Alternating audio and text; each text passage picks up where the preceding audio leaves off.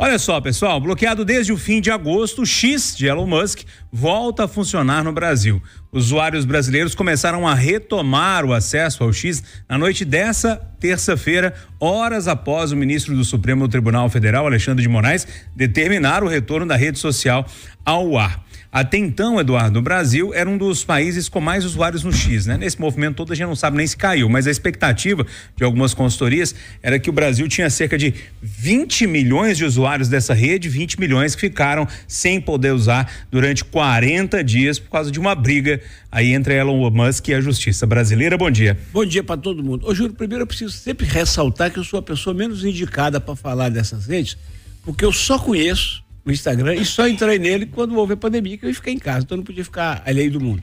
Mas eu realmente não tenho intimidade. O que eu sempre ouvi dizer, sempre ouvi dizer, é que esse Twitter, depois X ou X, é uma rede de ódio. Especialmente depois que o Elon Musk comprou. Comprou, salvo engano, por 44 bilhões com B de bola de dólares, quando valia 20. E ontem eu vi uma informação de que a avaliação atual é de 12. Ou seja, ele está tomando um prejuízo federal. E por mais que o cara tenha dinheiro, quanto mais tem, menos quer tomar prejuízo, certo? É. Então por isso que ele afinou. Por isso que ele afinou. E agora eu quero voltar ao que disse aqui 30 dias atrás. Quem ouve a Itatiaia sabe que eu não tenho a menor simpatia pelo ministro Alexandre de Moraes. É, isso não muda a vida dele, né? Mas eu acho autoritário, uh, questiono uma série de medidas dele, mas desde o primeiro dia que eu falei que ele estava cobertíssimo de razão, e eu, no lugar dele, faria, faria a mesma coisa. Isso aqui não é casa da mãe Joana. Ou às vezes parece, mas não é. Ninguém pode ter uma empresa aqui sem ter um representante legal. O outro falou, oh, porque não sei o quê, tá, ameaçou, botou o governo americano. Enfiou o rabo entre as pernas, voltou, pagou as multas. O Xandão, para complicar, ele vai não, pagou da Caixa Econômica, eu quero no Banco do Brasil. Aí pagou, falou, não, agora eu quero ver a Procuradoria. O Xandão deu uma lição nele que serve para outros caras que acham que tem dinheiro, tem tudo. Nessa, só nessa, hein, gente? Parabéns pro Xandão e viva a soberania brasileira. E boa sorte pra turma que vai voltar pro X. O Marcelo da Fonseca, na briga entre, como diz Eduardo, Xandão e Elon Musk, o Xandão venceu. Bom dia. Bom dia, Júnior. Bom dia, amigos do Conversa. Bom dia a todos os ouvintes. Venceu porque é uma, uma é uma luta injusta, né, Júnior? É uma luta contra uma empresa que não teria como recorrer. Onde que o, a decisão do ministro Alexandre de Moraes né, que foi contra, que derrubou o, o Twitter, o X, onde que o X poderia recorrer no Brasil? Não tem onde recorrer depois que o Supremo toma uma decisão. Então a empresa é uma luta totalmente covarde. Eu acho que bom que acabou essa censura, é uma censura, né? A gente não tem culpa de um grupo de pessoas usarem o Twitter para o ódio, para disseminar é, o ódio, mas são 20 milhões de pessoas. E muita gente foi censurada sem ter nada a ver com essa história.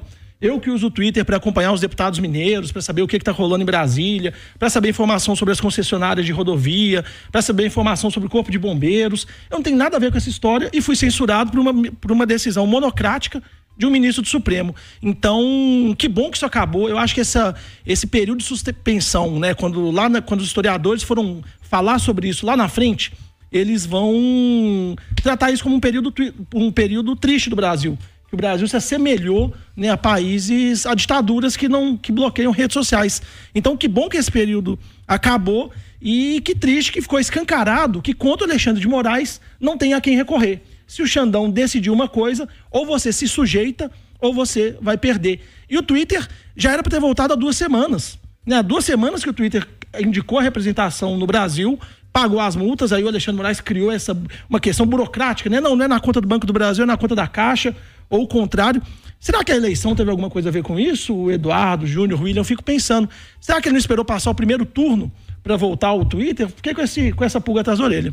É, é, quando isso lá atrás quando eu vi um movimento, inclusive, da direita, falando, gente, vamos dar um jeito, vamos voltar com esse Twitter e tal. Comentei com o William Travassos um dia ali na redação. Falei, William, é, isso tem muito a ver com a eleição, na minha opinião. Não, não que o Xandão tinha feito por causa da eleição, mas eu acho que pode ser até um pensamento que a gente pode ter. Mas é aquele movimento da direita, pô, volta com a minha ferramenta de fazer campanha eleitoral, porque fez falta, né, William? Bom dia. Sim, bom dia, Júnior, bom dia, Mancada, bom dia aos ouvintes da Itatiaia. Todo lado do Marcelo, aqui ele tá do meu lado esquerdo. É bom estar do seu lado e ver você aqui à minha esquerda. Curiosamente, você está à minha direita, né? É, mas hoje eu tô de Muito vermelho. Começou. E aí, eu- o Eduardo falou assim: parabéns pro Xandão. É, realmente, eu acho que a gente tem que dar parabéns. Ele conseguiu. Será que o Xandão conseguiu interferir no primeiro turno das eleições municipais com essa atitude?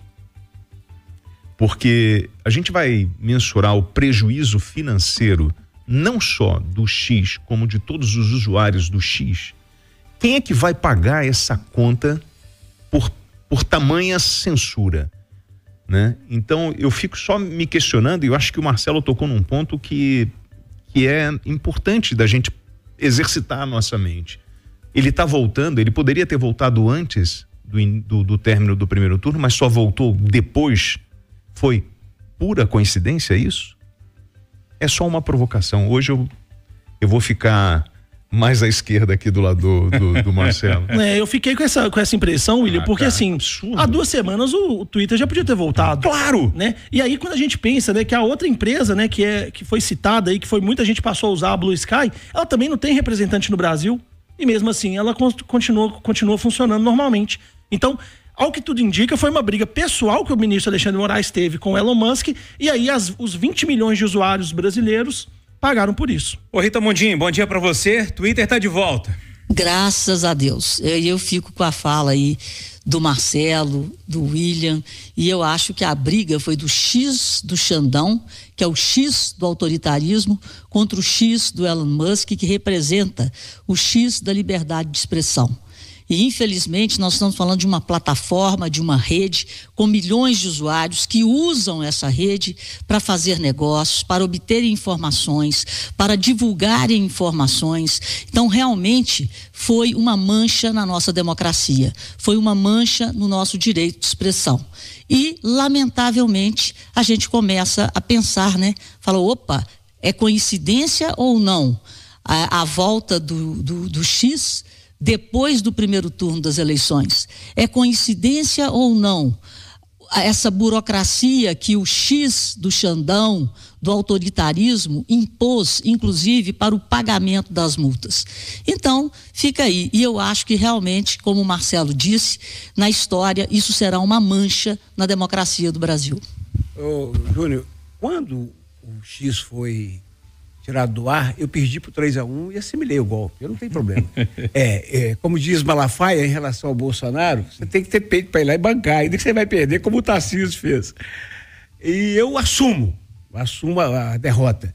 Mas como essa palavra censura é muito cara a quem trabalha com comunicação, eu preciso só, só repor isso. O resto, cada um sabe sim. Só duas coisinhas. A primeira é que eu não vi uma comoção nacional com, com, esse X fora do ar. Você viu? Não. A segunda é a seguinte, então não é, o X não é fundamental. com- bom, agora Ô, segunda- Eduardo, essa tem- palavra censura, Júnior, eu não, eu respeito os que acham que é censura, mas eu não aceito de forma nenhuma, porque para mim o que prevaleceu nessa decisão do autoritário Xandão foi um artigo básico da Constituição brasileira e de todas as constituições do mundo. A lei é igual para todos. Ô, O Eduardo. pau que dá no Chico tem que dar no Musk. Deixa, Eduardo, Deixa, deixa aí, só queria deixar claro que os usuários do X, quem, é, é, a- o pessoal que usa o X é uma plataforma assim, mais até de negócios. Então não é uma plataforma como um, um Facebook, um Instagram, não é por aí. Ah, é, é diferente, é diferente o uso da plataforma, Mas o viu- tipo de informação. Então é por aí. Mas, mas você viu algum empresário, alguma, alguma corporação reclamando de um prejuízo gigantesco no negócio? Eu não vi. Posso- Eduardo, eu também queria, primeiro que, né, a primeira questão da censura, eu acho que é muito simples. É, dezenas de, de parlamentares, né, pegando só no meio político, usam o Twitter para comunicar com seus é, seguidores, seus eleitores, né? Eu imagino que eles Quando defendam a são- lei. Quando eles são proibidos de fazer, e estou falando até é, é, deputados de esquerda, né, deputados do PT, do PSOL, não estou falando só de direita.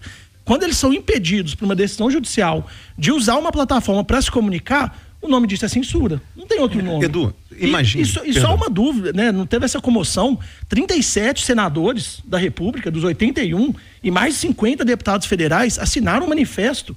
Mas ele tá brigando falando de por isso. comoção popular. Eu tô- eu tô- É porque Aí, o X não é 50 popular. da direita, Não, mas simplificar. Não, não, não, Peraí, não peraí. é só da direita. Acabou. Tem va- Vamos tem vários- simplificar. Tem vários Ah. parlamentares do, do, do Hoje nós isso. estamos contratados pela Itatiaia, o Edu tá na TV, então a gente tem como exercer a nossa profissão.